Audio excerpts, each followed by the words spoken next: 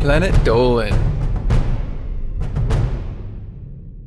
From who made the first roller coaster to why baby kangaroos are called joeys, we answer several of your most burning questions about life. Yo, what's up? It's Ninja Dolan. I'll be reading out the questions and answers. And I am Nixxiom, bask in my greatness, ooh, for I am here to lead you from ignorance into the light of truth. You stole my job, you bloody dead person. You already have a job. You're gonna fix my wagon. Ooh, uh, here. Uh, here's a coin for your troubles. Now get to it. Oh, thanks. I'm gonna go ahead and not do that. Just, just a heads up. Old Kids 04 Gaming asks, what's the difference between a wolf and a coyote? A wolf is a proud, strong, and ferocious creature. Only the greatest of warriors can ride into battle on the back of a great wolf. I know I have. What about coyotes? Now, I've never heard of a warrior riding a coyote before. They're far too small. But maybe, yes, maybe they could pull my chariot. Oh yeah, that's great. But here's a thought. Why not get a car? You know, one of them horseless carriages. Never. Ugh, never. There is no adventure in being ferried around on some haunted carriage by a specter. What? It's a car, dingus! You don't know anything. Typically, coyotes are smaller than wolves and tend to have bushier tails, but they also behave differently. Wolves are pack hunters and prey on sheep, goats, and deer, whereas coyotes often hunt in pairs and prey on smaller animals like rabbits and mice. Coyotes also tend to be more shy around humans, far less likely to attack than wolves are. Gregoisa Grayolas asks, who made the first roller coaster? A coaster?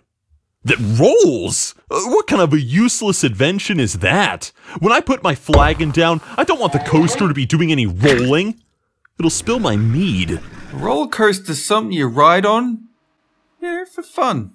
Uh, mm, ugh. This world truly is strange.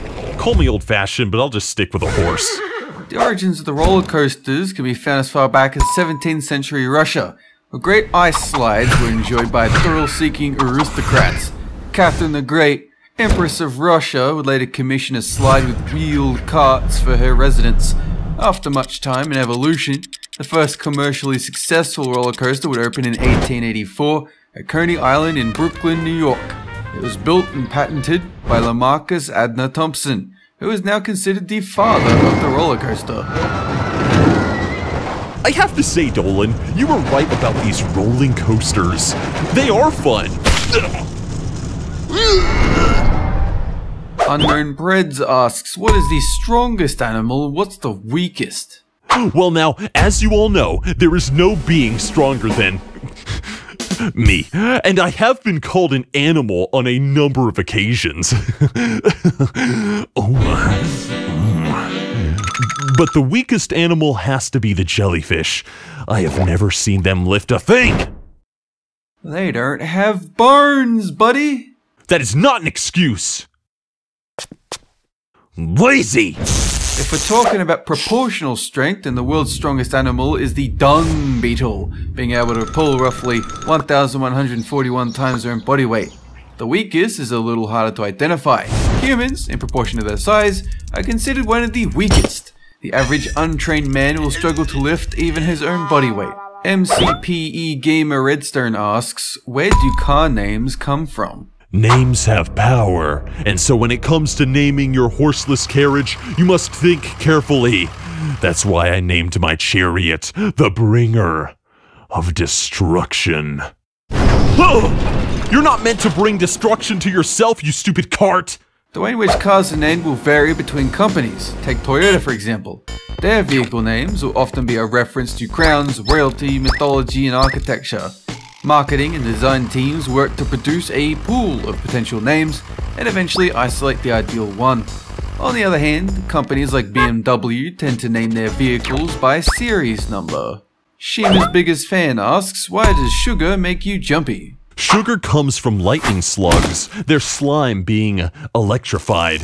Once it's refined, you get sugar crystals. But if you can't wait for that, you can just help yourself to a nice helping of slug slime. Care to try some, Dolan? Nah, I think I'll pass. I'm watching my weight and all that.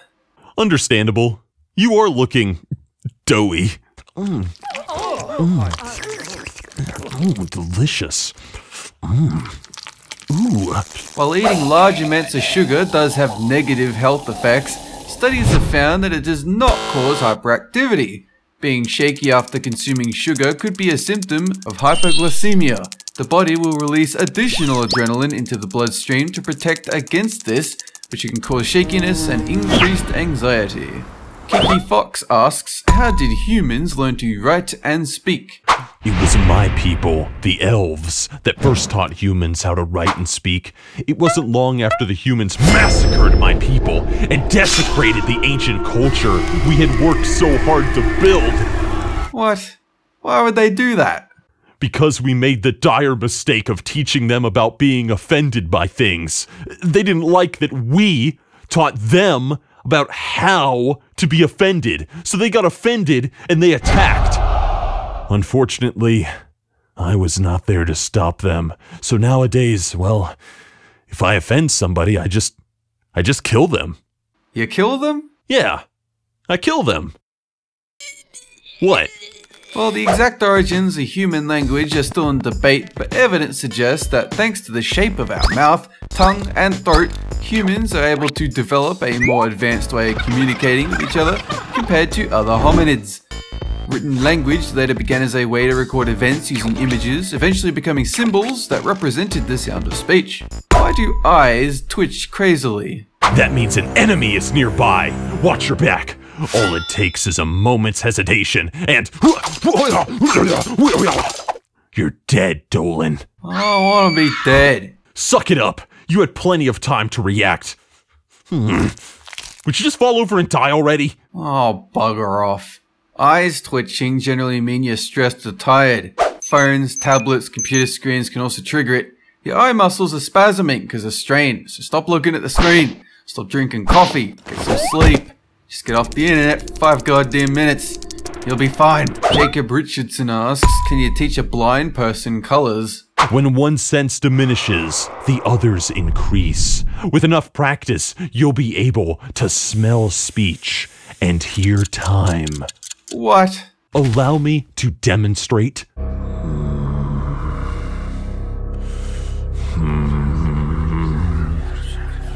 Oh, yes. It's coming. Yes! The time! It is 2.15! Oh, wow. How did you know?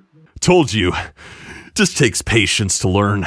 Yes, yes, very impressive. If a person has been blind since birth, it will not be possible for them to perceive colors. You could, however, teach them to associate the name of each color with certain stimuli, such as red and orange for heat or warmth. The name could also be associated with an emotional state, blue being calm, for example. Melody Sky asks, what would happen if every animal on the planet was a herbivore? Now I know what you're thinking.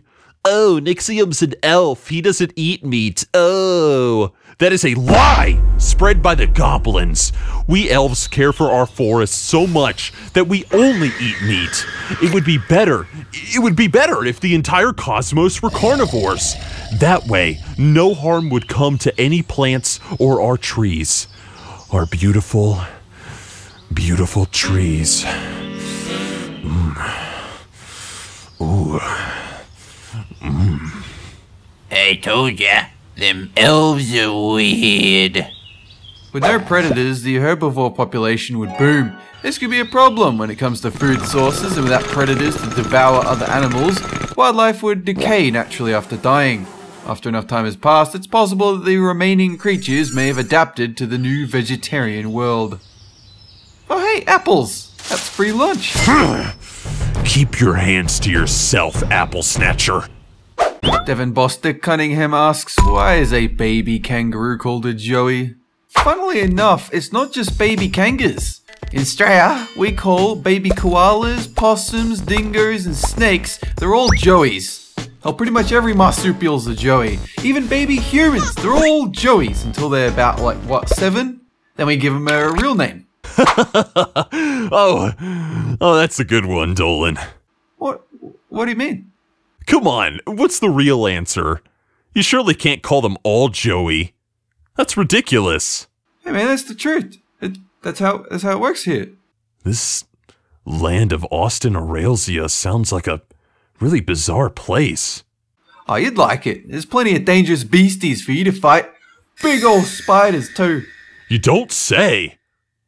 Make haste, my tiny friends. Glory await us in the mystical land of Austin Auralsia. Yeah! Someone should probably tell him that Australia isn't on planet Dolan. Ah, whatever. You know what? I don't care. I don't care what happens to you. Bye. Dingus. This video was made possible by our fans over on Patreon. Thanks for your support, guys.